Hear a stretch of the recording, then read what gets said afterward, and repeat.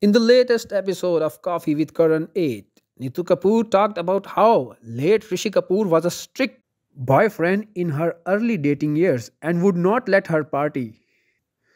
Neetu said that she had never experienced the wild side of the industry as he never really partied. She revealed, We had a fabulous time, especially with Yash ji. We would party in the night, play Antakshari. So that was like one picnic. That was really, really fun. However, due to the strictness of her mother and her boyfriend, she never really experienced the crazy parties.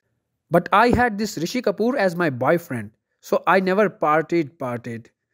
Because he was always like, ye nahi karna, wo nahi karna, ghar jao. Don't do this, don't do that, come home. So I have never seen that wild side of partying in those days.